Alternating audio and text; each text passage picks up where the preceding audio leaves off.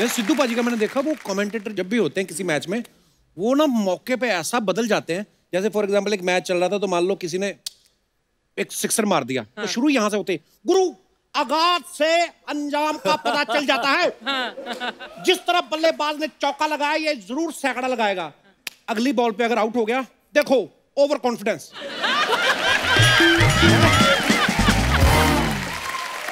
देखो गुरु सावधानी हटी तो दुर्घटना घटी वो बदल जाते हैं। तो अच्छे से कवर कर लेते हैं फिर अपनी बात इसीलिए कमेंट्री आसान है। बट इनसे ये तो पूछ वो कौन से लोग हैं जो ब्रेकफास्ट और लंच और फ़िल्मों की कहानी सुनाते हैं? कौन है बाजी वो? नहीं ना ना। फिर भी यार। नहीं नॉर्मली वैसे मैंने देखा स्टोरी में भी कभी ये उनकी अपनी स्टाइल है। जैसे अब आपका शो लोग हँसते हैं देख के। जी। आपका शो देखने के लिए लोग के लोग घर में खाना नहीं बनता।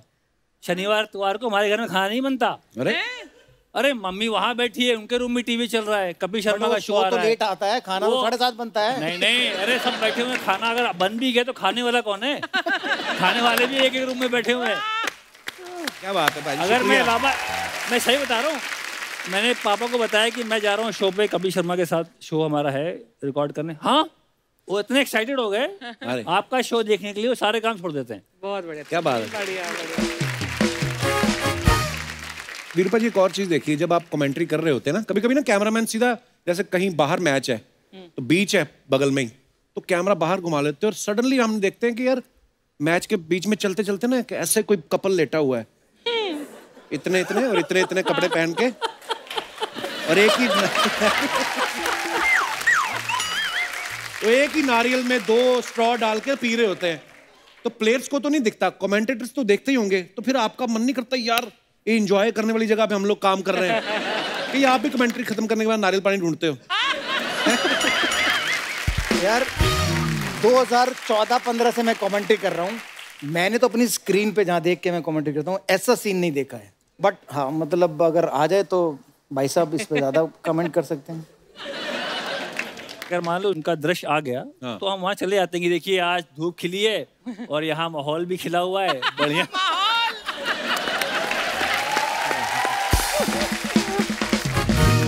इंटरेस्टिंग चीज़ है वैसे कमेंट्री है ना? सडनली कुछ भी हो सकता है इम्प्रॉम्प्टू चीज़ें होती हैं। मेरे को सिद्धू भाजी का किस्सा याद आ गया आप आए तो मैं सुनाता हूँ। तुझे सिद्धू बहुत याद आ रहा है। हाँ, बहुत- आज काफ़ी याद आ रहा है। ये तो याद भी नहीं करने देती। जब वो कांग्रेस के प्रधान बन गए ना पंजाब के इन्होंने नारियल चढ़ाए कहती शुक्र है अब वहाँ पे बिज़ी रहेंगे।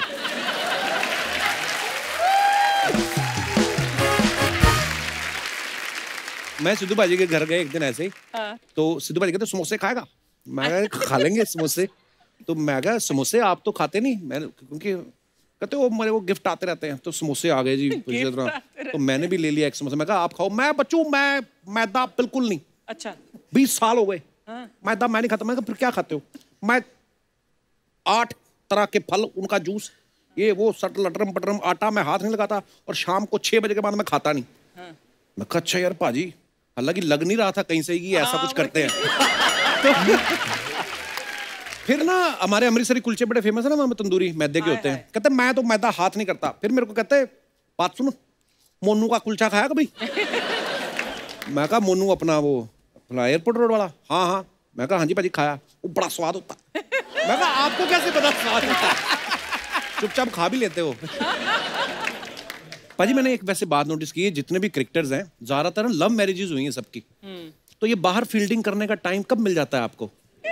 आप फील्डर बड़े अच्छे मैं इसलिए पूछ रहा हूँ। ये दोस्तों का करा धरा है। सारे दोस्त अच्छा। हाँ अब आप बाहर चलो चलो खाना खाने चलते हैं। आप बाहर जाते हो तो आप वहाँ किसी से मिल जाते हो मुलाकात होती है फिर नंबर एक्सचेंज होता है फिर आप बात करते हो फिर आप लगे रहते हो रात भर फ़ोन पे।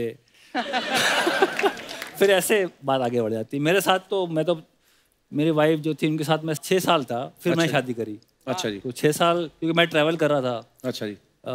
इंडियन टीम छह साल एक दूसरे को जान समझ रहे थे। समझ रहे थे तो छह साल बाद उन्होंने आपको समझने के बाद भी आपसे शादी कर ली।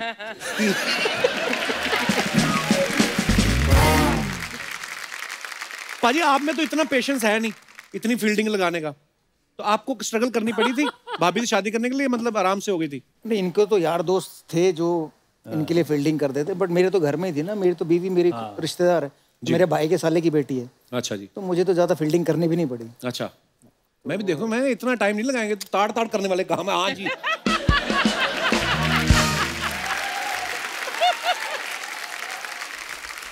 पाजी जैसे आप दोनों की दोस्ती है आप लोग बिंदास बोलते हैं कभी भी डिप्लोमेटिक आंसर नहीं होते। तो एक जनता जनार्दन के सवाल है। मैं आपसे कुछ सवाल पूछूँगा आपने बताना कि ऐसा कौन करता है? जब आप मैच खेलने जाते थे आपकी टीम में जितने भी दोस्त आप दोनों नहीं और भी बाकी भी होटल के सबसे ज़्यादा मज़े कौन लेता है कि पूरी फैसिलिटीज़ लेनी है? स्विमिंग पूल में भी जाना है स्पा में भी जाना है पूरा फ़ायदा कौन उठाता था? कौन सा खिलाड़ी? क्या पर मैं? स्विमिंग भी करनी है हाँ। नाई के पास भी जाना है मसाज भी हाँ। करानी है और फिर कंप्लेंट भी करनी है यार ये होटल मज़ेदार नहीं। स्विमिंग जिम अच्छा रूम को सबसे ज़्यादा गंदा कौन रखता था? अ, हमारे टाइम में हरभजन सिंह। भज्जी भाजी। अच्छा। अब इतने मैनेज से करता है कहीं भी जाओ तो सब एक एक जगह रहते हैं शादी के बाद। पहले तो मतलब इधर जूते पड़े हैं उधर जुराबें पड़ी हैं पता नहीं मतलब पूरा रूम फैला रहता था जब भी उसके रूम में जाओ। एक्चुअली मैंने देखा है लड़के जो होते हैं ना डिसिप्लिन में आते ही शादी के बाद है। मैंने भी भाजी ये कॉन्सेप्ट पता चला मुझे जब मेरी शादी हुई कि डिनर टेबल पे खाना लग गया है। मैं कहा डिनर टेबल कहाँ है? तो नहीं तो हम लोग तो ऐसे ही खाते रहे पहले ही।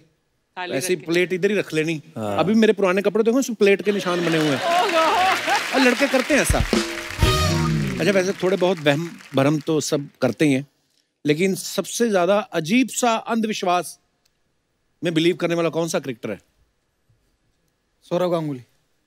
दादा अंधविश्वास करते हैं? दादा पूरा उनका जो माला होती है हाँ। ऐसे पैर के कर आप अगर नेटवर्क ट्रॉफी का मैच याद हो तो ये ऐसे ये माला पकड़े हुए थे दुर्गा माँ की जो भी ऐसे पकड़ के बैठ के वो मैच पूरा वॉच किया उन्होंने।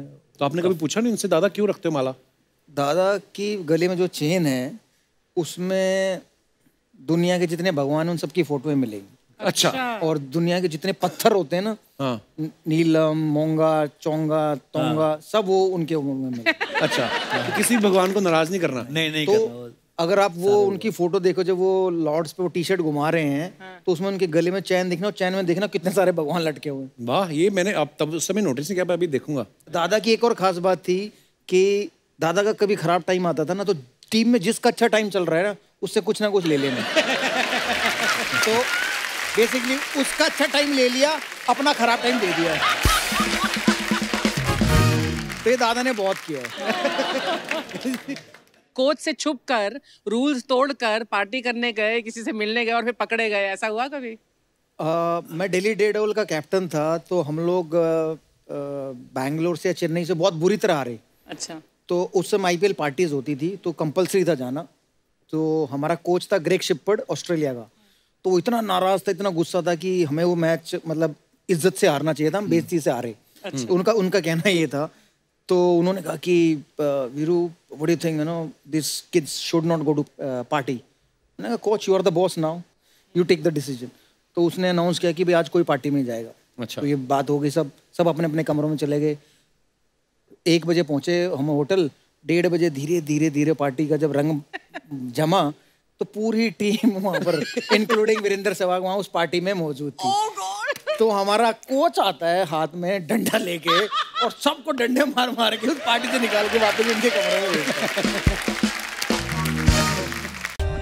for more update subscribe to our channel click the show links and enjoy watching the videos